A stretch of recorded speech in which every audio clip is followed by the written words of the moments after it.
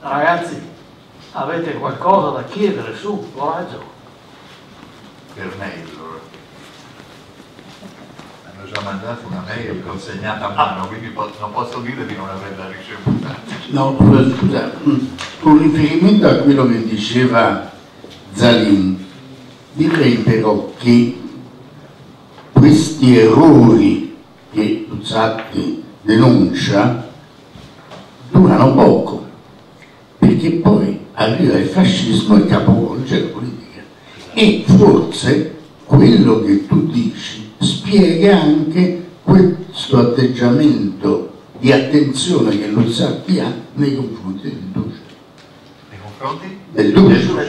Cioè, voglio dire, quello che tu dicevi, che Luzzatti rimprovera, a parte grazie a Ballini perché ci ha fatto un quadro veramente straordinario di quel, pe- però questo che Luzzatti rimprovera è quello poi che, che Mussolini rimprovererà ai governi liberali e quindi forse ti dico e che poi Mussolini capovolgerà perché nel bene e nel male rifiuterà il rapporto con Francia e Inghilterra. Quindi c'è da il discorso Luzzatti fascismo eh, forse va ancora approfondito.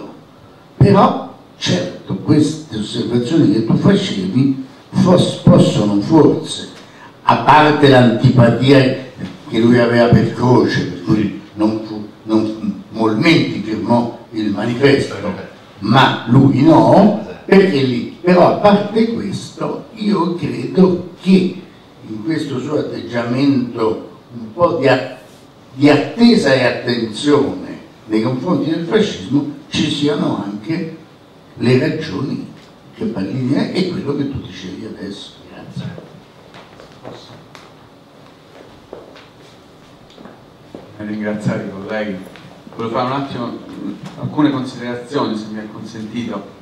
Eh, innanzitutto su questo che diceva il professor Caffarelli, che io ringrazio perché lui ha detto cose così bene che io ho provato a dire da, da scimmia, diciamo, della, della conoscenza di questo tipo di cose. Mi ha molto colpito un concetto che, lei, che tu hai esposto, cioè questo problema del gold standard e del, diciamo, degli Stati Uniti e del gold standard che poi in realtà proprio in questa fase diventa, diventerà l'inizio del dollar standard, cioè in cui tutte le economie poi si piegheranno a usare il dollaro come, come moneta effettiva del, degli scambi internazionali e secondo me questo è un passaggio determinante della storia del Novecento, perlomeno sotto il profilo economico, però non vado oltre perché poi sei tu che...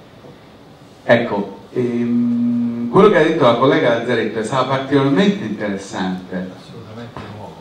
Assolutamente Non c'è nuovo. una traccia in nessun libro di storia.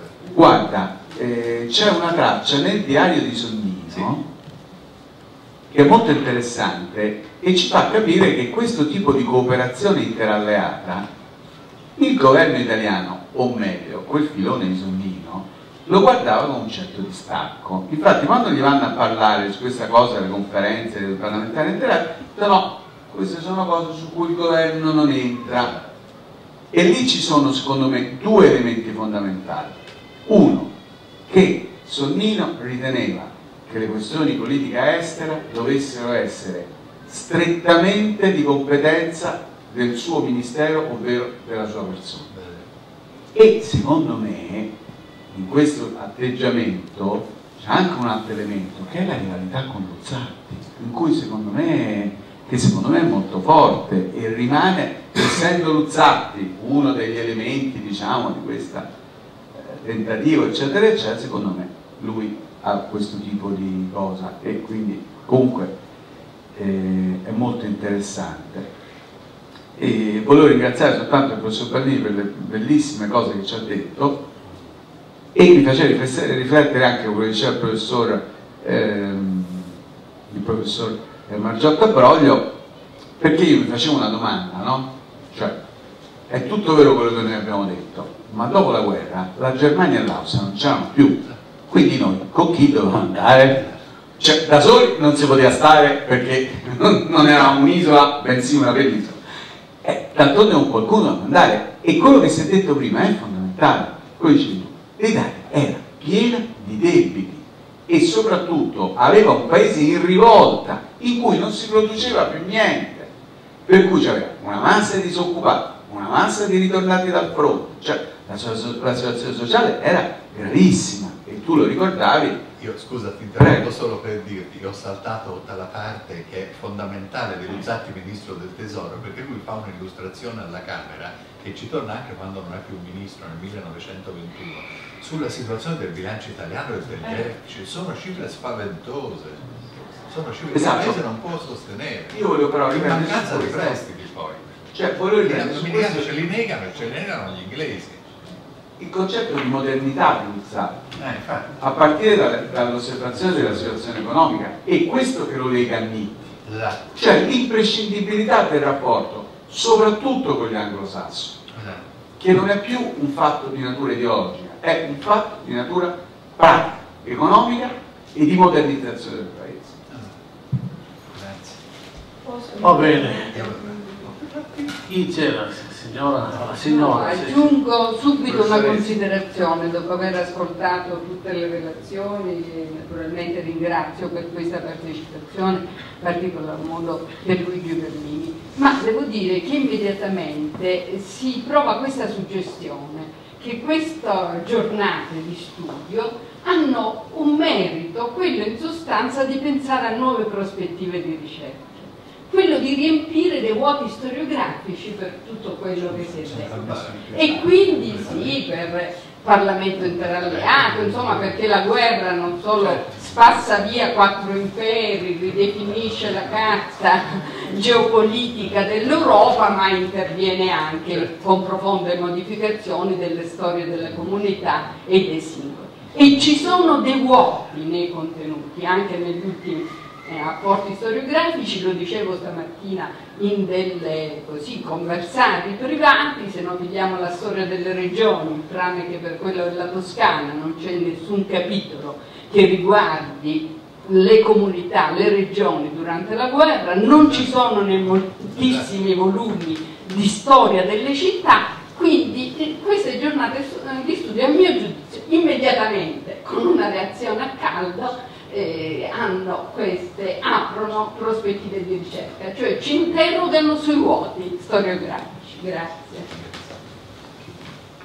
Va bene, vuoi chiudere tu? Che sei... No, no, No, io non, non ho altro da aggiungere agli interventi dei relatori, perché siamo stati tutti relatori. Mi sembra tuttavia che pur con un afflusso esterno piuttosto limitato, eh, questo convegno ha recato una- una- un suo contributo, insomma, una sua dignità. Del resto, non è la prima volta che io partecipo perciò ho un po' di, di- di- dire, di memoria storica e devo dire che i nostri convegni non sono mai stati eh, particolarmente affollati, però se, eh, guardando la collana nel suo eh, insieme e valutando anche i riconoscimenti prestigiosi che eh, le giornate luzzattiane hanno ottenuto a livello perlomeno nazionale, mi rendo conto che insomma eh, noi abbiamo fatto un lavoro di grande esplorazione e mi rendo conto soprattutto che questo archivio del nostro personaggio eh, insomma ha, delle, ha de- de- dei nodi, ha una serie di, dire, di, di notizie che proprio danno i particolari, capito, su, su tutta, su, per 50 anni, di- 50-60 anni di storia sociale, politica e anche economica, perché non dobbiamo dimenticare che il- il- la conoscenza che aveva Luzzatti dei meccanismi economici eh, in fatto di, di dogane, in fatto di cambi, in fatto eh, di banche ovviamente, sono tali che insomma seguirlo c'è sempre molto da imparare. Io credo di non dover aggiungere altro, ringrazio coloro che hanno partecipato e, e, do, e vi do, come dire, vi do cosa, la, la, no, devo dare anche eh, la data di consegna, eh, non so cosa, cosa, si, cosa si fa, la data di consegna Io pensavo il 30 novembre di suggerire, di proporre 30 novembre va bene, allora fissiamo... E poi, detta la data, che è un adempimento burocratico, vorrei fare un ringraziamento con il cuore all'istituto, alla presidenza, cancelliere e cancelliere emerito, al dottor Pedrocco, al dottor Carlo Urbani e alla dottoressa Monico, eh, che, sono... che, sono... presenze davvero molto preziose, certo. che ci consentono in modi e in tempi diversi di lavorare e di realizzare queste giornate. Grazie.